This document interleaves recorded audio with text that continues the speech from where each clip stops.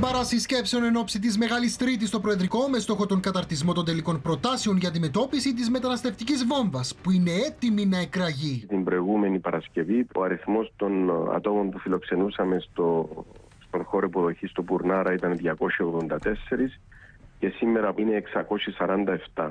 Εφόσον ο Κώστας Κληρίδης ανάψει πράσινο στο πακέτο προτάσεων που βρίσκεται από χθες ενώπιον του, η Λευκοσία αναμένεται να προχωρήσει άμεσα στην εφαρμογή αυστηρών μέτρων, αρχής γενομένης από την ταχύρυθμη εξέταση των αιτήσεων ασύλου και λειτουργία κλειστού κέντρου φιλοξενίας μεταναστών. Μέχρι την ολοκλήρωση της εξέτασης των αιτήσεων ασύλου θα παραμένουν στο συγκεκριμένο ε, σημείο.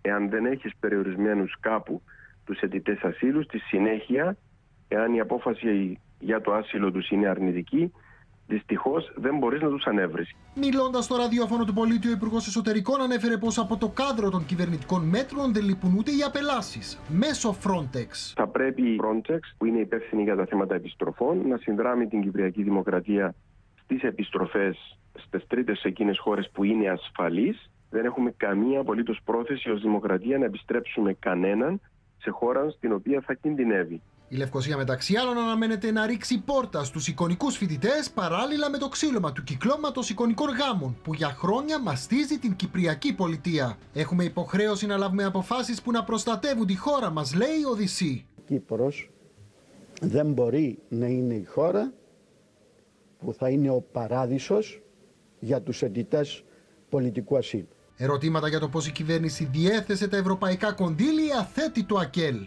οφείλει να απαντήσει αναλυτικά και ευθαρσώ για το πώς διατέθηκαν εκατομμύρια ευρώ, τα οποία υποτίθεται θα μας βοηθούσαν στην πιο αποτελεσματική αντιμετώπιση του μεταναστευτικού και του προσφυγικού. Την όποια οικονομική βοήθεια την έχουμε χρησιμοποιήσει με τον βέλτιστο τρόπο. Γι' αυτό παραδέχεται και η ίδια Ευρωπαϊκή Ένωση. Τα βλέμματα πλέον στρέφονται στην σύσκεψη της Διυπουργική Επιτροπής την ερχόμενη Τρίτη.